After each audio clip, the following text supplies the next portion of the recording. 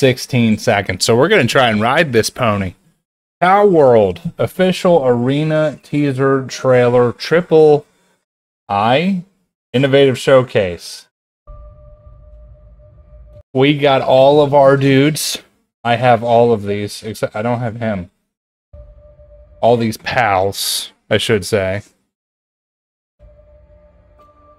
I have all of these pals as well. Actually, not this one. That's the new one. But uh, I have that kit. Pal World. Apparently, they're coming out with a Pokemon Battle Stadium type of ordeal with Pal World. That's what Pud was telling me the other day. To where you could PvP against your opponents and their pals.